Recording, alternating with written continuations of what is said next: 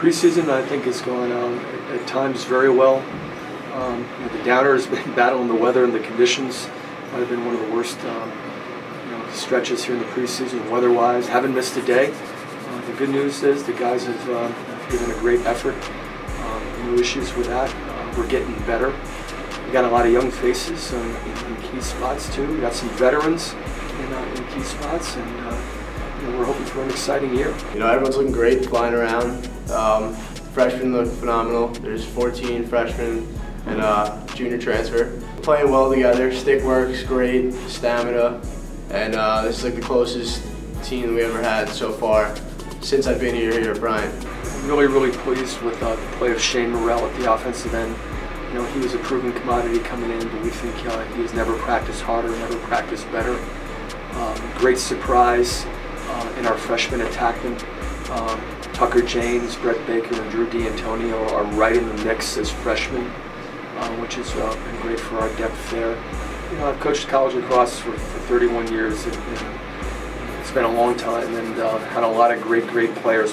I don't think I've enjoyed coaching two more complete two-way midfielders that happen to be you know, both captains, both line mates, uh, both best friends, and, and Alex and, and Colin and to see them drafted, you know, very, very high in the MLL draft with the best college seniors to date was certainly a great tribute to them, but very, very rewarding for us too. And, and, and those two guys will go like we go. I mean, they're, they're a, a big part of who we are.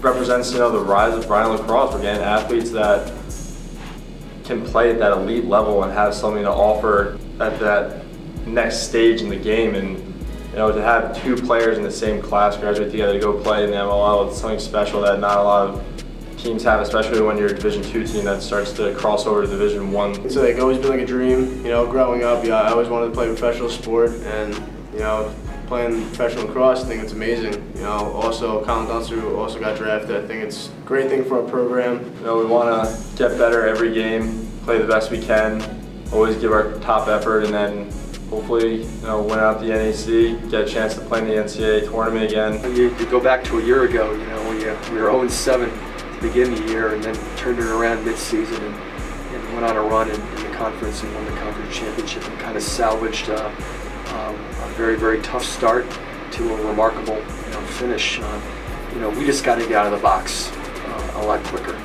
You know, we, we got to get uh, on the winning track, winning breeds confidence. And then once you get the first one, uh, the, the, second one will come.